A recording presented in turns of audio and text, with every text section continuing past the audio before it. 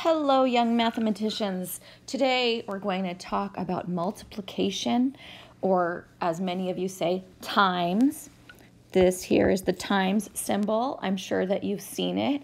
Later on, next year, you're going to learn about other kinds of times symbols, but right now, this is the multiplication symbol. Um, and the one thing that I want you all to know is what multiplication is. Multiplication is repeated addition. And you might be thinking to yourself, wait a minute. No, multiplication is times, addition is plus. Well, in math, that's what's interesting is that some of the equations we do and some of the formulas we do are just different versions of something else that we already know. That is very common in mathematics. So let me give you a concrete example here, all right? I'm going to pretend something. I'm going to pretend that I have a bunch of chickens at home. I don't actually have chickens. I have cats, but I don't have chickens. But let's pretend I have chickens. And my chickens, they laid a bunch of eggs, like a bunch. And I decided that I have so many eggs that I'd like to share them with my neighbors. And I have three neighbors that I want to share them with. And I have five eggs that I want to give to each neighbor. So here's a bucket. Don't laugh, I'm a terrible artist. Actually, that wasn't too bad, right, guys? Here's bucket number. Wait a minute. I want to make them equal sizes. Ah, as you all know, I'm not exactly the best artist in the world, although I guess this isn't the worst, is it? All right, so hopefully you can tell that those are buckets. And inside these buckets are, let me move this thing over. How do I move this? Ah, okay, I can't seem to move it. We said five eggs, so that's one egg, two egg, three egg, four egg, five egg. Hopefully those look enough like eggs to you. One egg, two egg, three egg, four egg, five egg. Five eggs. One eggs, one egg, two egg, three egg, four eggs, and five eggs again. So I've got five eggs for each of my three neighbors. All right. So now a friend of mine said, How many eggs did you give away in all? How many eggs did you give away in all? Well, I said, Well, I gave five eggs to one neighbor. Then I gave another five eggs to another neighbor. And then I gave another five eggs to my other neighbor, three different neighbors. Now let's see, five plus five plus five. That actually, let's count them. Let's count them. Uh, what color? I'll do pink actually. One, two, three, four, five, six, seven, eight, nine, ten, eleven, twelve, thirteen, fourteen, fifteen. I gave away 15 eggs in all. Now here's where it gets interesting. Another way to think about this is to use multiplication.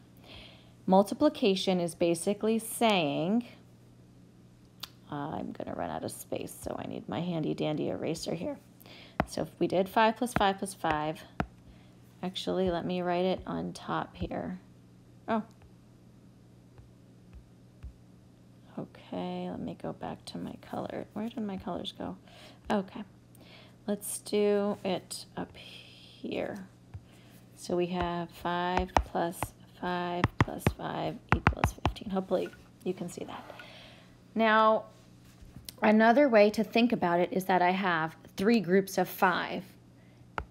3 times 5. That's the multiplication equation. Three groups of five is three times five, and we already know it's 15. We counted. Now, you're going to be learning your multiplication facts. Some of you even know a few of your multiplication facts, but three times five is 15, and that's the basic idea behind it. Now, you all have used counters in the past, or these little block or square counters. let's think of another example here. Let's pretend I have, hmm, well, I'll tell you something that I really like, and they're cupcakes. Let's pretend I have some cupcakes that I've made, and I decide that I want to give them to some friends of mine. I have a friend named Sarah. I have a friend named Lisa. And I have a friend named Maria. Okay?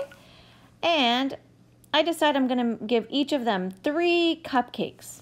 So Sarah gets three cupcakes, Lisa gets three cupcakes, and Maria gets three cupcakes. And then my friend says to me, my, my friend Maria says, Thank you so much for these cupcakes. How many cupcakes did you make in all for us? Well, let's do the math. I gave three to Sarah, plus three to Lisa, plus three to Maria. We're going to count them. We've got one, two, three, four, five, six, seven, eight, nine. And so the answer is I made nine cupcakes in all. And if we're going to do the multiplication equation, it's three groups of three or three times 3, and that equals 9. Now, one thing I've noticed is that students learn multiplication in different ways. Some kids just like to memorize their multiplication facts, and that's it, and they, they understand conceptually what it is. And some kids, they really like the visual drawing pictures to help them understand. Let me tell you something. Whatever method works for you is what you should do right now. So if I say, all right, kiddos, I have three classes today, and in each class I have 10 students, and each one of them is going to get a cookie. Okay? Well, here you might notice these that these look familiar. I've got one, two, three, four, five, six, seven, eight, nine, ten, ten cookies there. Okay? These probably look familiar to you. So let's pretend I've got my first, ah, I can't write. Let's say, okay, let's say to you, that, let's say this is the, the, the question I have. I have three classes. Each class has 10 kids. Each kid will get one Let me make it this. Let me let me make it like this. One cookie today.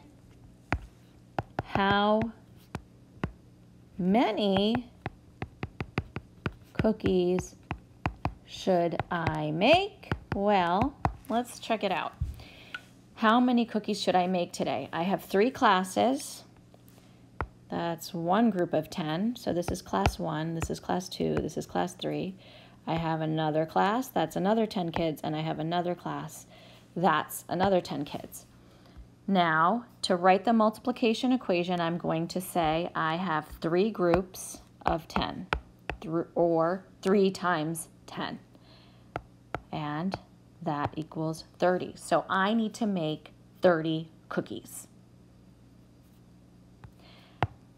And that's basically, oopsie doopsie, what did I do there? Um, that's basically, that's basically it. Um, you know, where multiplication really gets interesting is when we deal with bigger numbers, and we are going to do a lot of multiplication. We're um, going to start with our multiplication facts. Here, right here, I have a block of 100. And eventually I'm going to say things to you like I have, uh, you know, um, a hundred, a hundred people. Uh, okay, there are two parties with a hundred people each, and I need to make, I need to make, um, I need to make. Uh, let's see, what am I making for everybody? I need to make, but I need to give everybody at the party um, bananas. Okay, that is really random and weird. I don't know why we would have just a bunch of bananas at a party, but let's just pretend everyone at the at those two parties gets a banana. As you can see, you've got two groups of 100 people and I would need to give, I would need to have a 200 bananas ready. Anyway, that's all for today, guys. I hope you found this video helpful. I cannot wait to see you again in class where we are going to really work hard on our multiplication facts. And I hope you have a wonderful rest of the day. Till next time.